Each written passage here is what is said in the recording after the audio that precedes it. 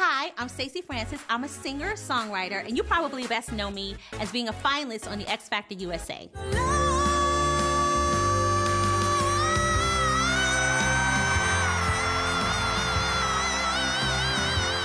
Let me tell you something, Stacy. I've done this a long, long time.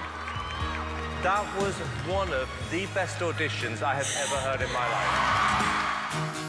It allowed me to stand and hold my position as a diva. Something else I became famous for was having a fight with Whitney Houston two days before she died. Obviously, not ideal. Like, I could cry right now, but I, I'm not gonna upset my makeup artist over here. I feel like people need to get to know me. I'm loving, I'm funny. Yeah, I got a little bitch in there, but I'm never a bitch just because. Like, I'm always, it's a justifiable bitch moment, okay? You're getting on my damn nerves. Get out my face. I am looking for love. I would love a gorgeous British husband. If he's wealthy, that would be awesome. 'Cause I like nice shoes. Yeah, there's a diva in there, but also there's a good heart.